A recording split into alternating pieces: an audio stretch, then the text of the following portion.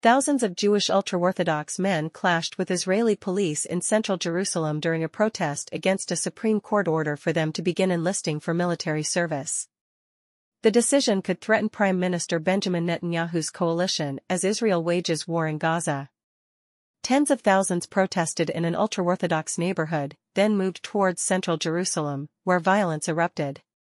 Police used water cannons and mounted officers to disperse the crowd. Military service is compulsory for most Israelis, but ultra-Orthodox men have historically been exempt to study in religious seminaries, a situation that has bred public resentment, especially during the ongoing conflict with Hamas.